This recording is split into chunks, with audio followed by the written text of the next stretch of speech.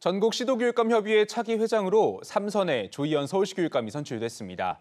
진보 성향 교육감이 전국 시도교육감들의 의견을 대표하게 되면서 산적한 교육 현안을 놓고 새 정부와 교육감 협의회가 대립각을 세울 거란 전망이 나옵니다. 최희영 기자입니다.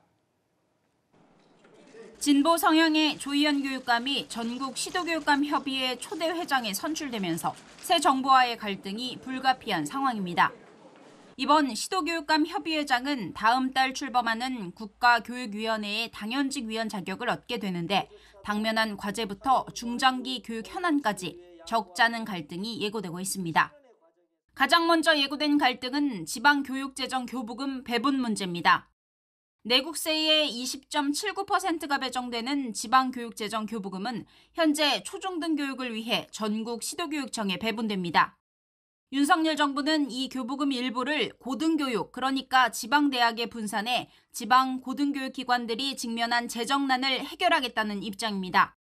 하지만 조희연 교육감은 당선 입장문을 통해 초중등 교육 재정 축소 문제, 초중등 교육 자치를 확대해야 하는 과제 등 공통 의제가 있다며 우회적으로 반대 의사를 표명했습니다.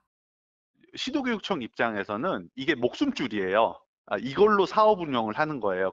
직선제로 됐고 공약도 내걸었고 뭐 지역 특화 사업도 해야 되고 그러면은 이게 있어야만 하는 거예요. 분명히 갈등은 심화될 거고요.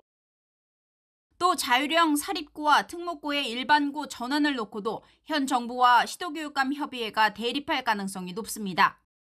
윤석열 정부는 인수위 국정과제를 통해 자사고와 특목고를 유지하겠다는 방침을 시사했습니다. 하지만 조희연 교육감을 비롯한 진보 성향 교육감들은 예정대로 2025년에 자사고와 특목고를 일반고로 일괄 전환해야 한다는 입장을 고수하고 있습니다. 실제 조희연 교육감은 자사고 특목고 폐지 소송을 주도했던 인물인 만큼 자사고 특목고가 유지되면 정부와 대립할 수밖에 없다는 뜻을 기자들에게 수차례 밝혀왔습니다. 그 문재인 정부에서 시행령을 바꿔서 완전 폐지로 갔던 것을 다시 되돌릴 확률이 큰데 자기 이념 진영에 따라서 지역의 자사고 특목고 운영, 운명은 좀 달려있지 않을까요? 또 문재인 정권의 핵심 교육 정책이었던 고교학점제의 방향과 시행 시기 등을 두고도 의견이 엇갈려 적지 않은 진통이 예고되고 있습니다. 지난 6일 지방선거에서 보수교육감들이 약진하면서 진보와 보수교육감 수가 9대 8로 양분된 상황.